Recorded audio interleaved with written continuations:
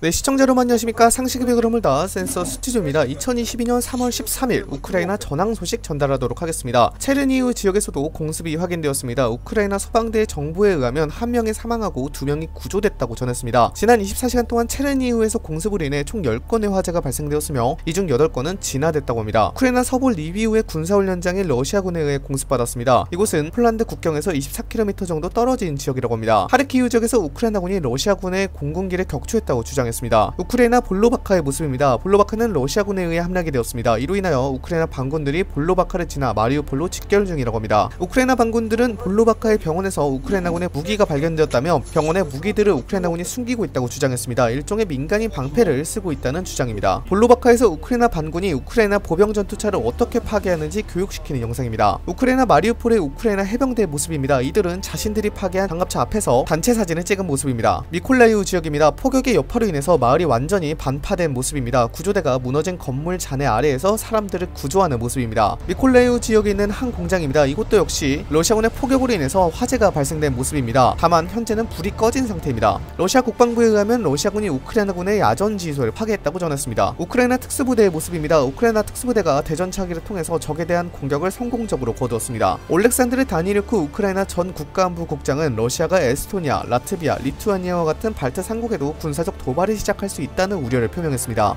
미국의 제한군인들이 우크라이나에서 의용군을 참전했다는 소식이 전해졌습니다. 우크라이나 침공을 강행한 러시아 정부가 SNS에서 영향력 있는 인플루언서들을 대거 매수해 친러시아 성향의 게시물이나 콘텐츠를 제작하도록 한 것으로 알려졌습니다. 이는 대중들에게 우크라이나 전쟁과 러시아 행동이 정당하다는 것을 널리 알리기 위해서 그런 것으로 풀이가 됩니다. 오늘도 발빠른 우크라이나 소식 전달하도록 노력하겠습니다. 감사합니다.